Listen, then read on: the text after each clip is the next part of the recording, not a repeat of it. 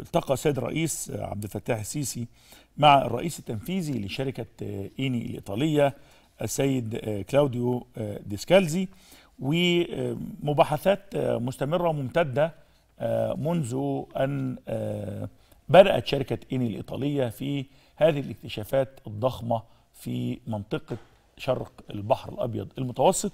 وكان حقل ظهر هو ثمرة التعاون الحقيقي والضخم بين مصر وبين الشركة الإيطالية. الرئيس التنفيذي ومجموعة من أعضاء مجلس إدارة الشركة النهاردة التقاهم السيد الرئيس بحضور المهندس طارق الملا وزير البترول والثروة المعدنية. واتكلموا مع سيادة الرئيس على نشاط الشركة في مصر حاليا ومستقبليا.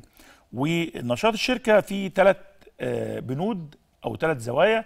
البند الأول هو الاستكشاف تنقيب على على الغاز على البترول والشق الثاني هو الإنتاج. يعني بيكتشف إنه هنا في حقل غاز أو حقل بترول. ده جزء أصيل من نشاط الشركة الإيطالية. الجزء الثاني هو عملية الإنتاج.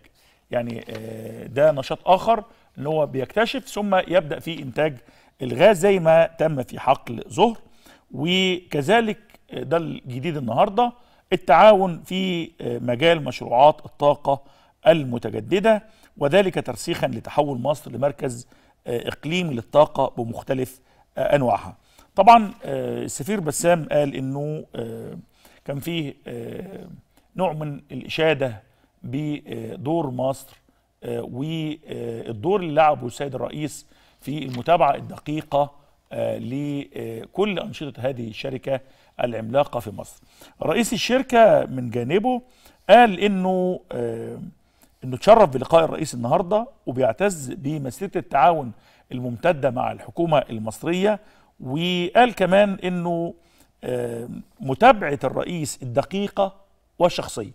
دي مهمة جدا دي نقطة أقف عندها يعني مليا وهي إنه الراجل الإيطالي الراجل الطلياني رئيس الشركة بيقول إنه لولا متابعة الرئيس شخصيا بنفسه لكل خطوات عملية الاستكشاف أو عملية التشغيل أو عملية الإنتاج على مدار الساعة وبدقة قال ده كان ليه أبلغ الأثر في إن إحنا نسرع في ما قمنا به وما حققناه من نجاحات وقال كمان إنه مصر الحمد لله بقت مركز إقليمي حقيقي وبقت من القوى الإقليمية الرئيسية في قطاع إنتاج الطاقة في وقت بيشهد فيه العالم أزمة طاحنة في هذا المجال. ده كان كلام رئيس الشركة الشركة الإيطالية السيد كلاوديو ديسكالزي.